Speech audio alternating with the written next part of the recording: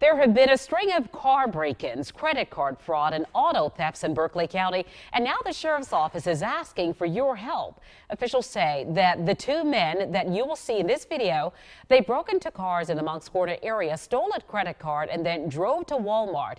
They were spotted using the stolen credit card in the store.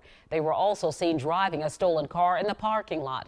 If you have information about them, please call Crime Stoppers. The number is 843 554 1111.